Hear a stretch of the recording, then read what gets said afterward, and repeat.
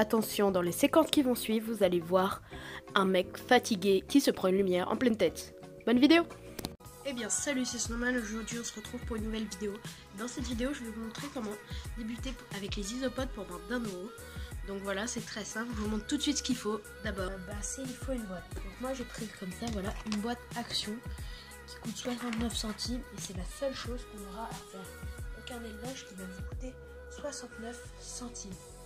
Bah, il faudra donc là je vous ai enlevé les prochaines secondes de son parce que vraiment le bruit était horrible. Excusez-moi euh, si je parle un peu avec le nez vu que je suis un peu malade. C'est super. Donc voilà euh, je vous ai coupé le son parce que vraiment le bruit d'une visseuse c'est horrible. Bon allez go.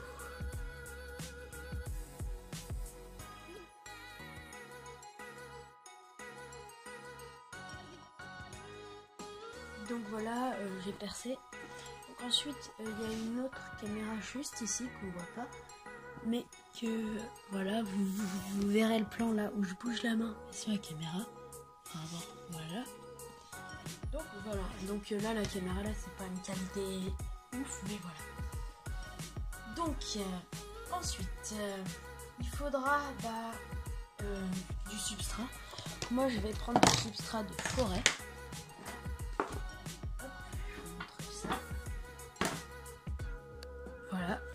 Comme par magie, c'est du substrat de forêt qui fera parfaitement l'affaire.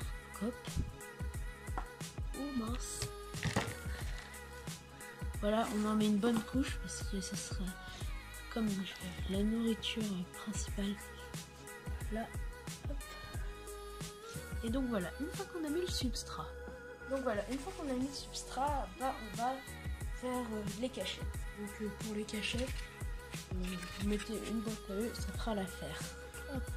Donc la caméra ici elle faisait une qualité pas assez bien que je vous la mette donc je vais Ensuite on met de la déco donc euh, moi des boules que j'ai trouvé.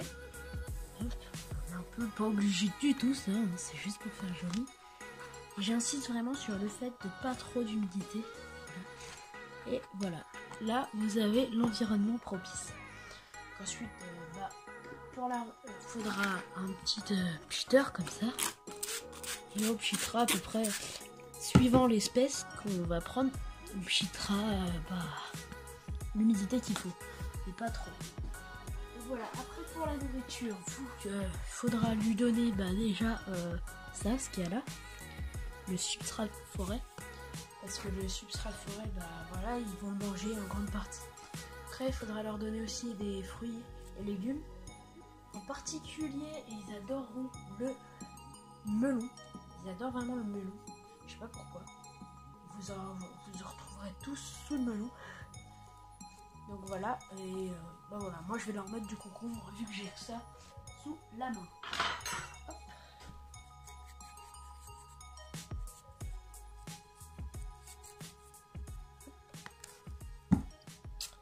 Voilà, vous leur mettez le bout de concombre comme ça. Ensuite, on peut aussi leur donner des paillettes pour poissons ou du calcium, soit en poudre et ou soit en poudre ou euh, soit vous pouvez mettre des coquilles d'œufs, broyés ou même euh, des os de sèche. Voilà. Là, moi, je vais vite fait saupoudrer du calcium parce que le calcium est très important euh, pour ces bêtes en fait, le calcium, bah, en fait, contrairement à nous, tout ce qui est isopode, les invertébrés. Ce qui veut dire qu'ils ont un squelette externe et non interne. Nous, on a les os à l'intérieur. Eux, ils ont à l'extérieur.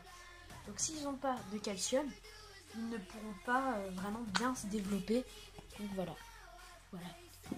Ensuite, bah, pour la nourriture, il n'y a pas grand chose à dire, mais la nourriture, vous prenez des épluchures, des restes, ça passe très bien.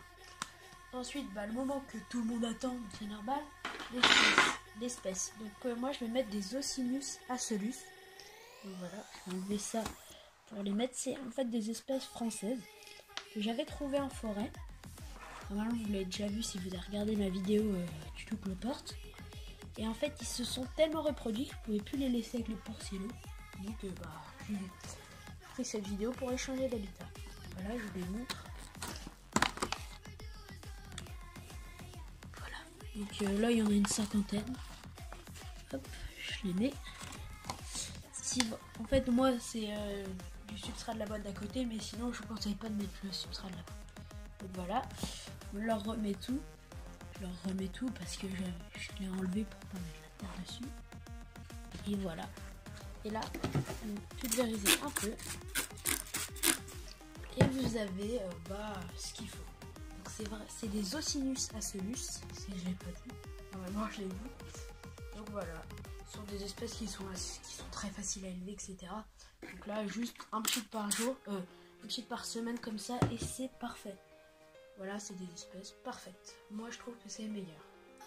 Donc euh, j'espère que cette euh, petite vidéo vous aura plu. Un peu plus long que d'habitude, mais bon, voilà. C'était Snowman, et ciao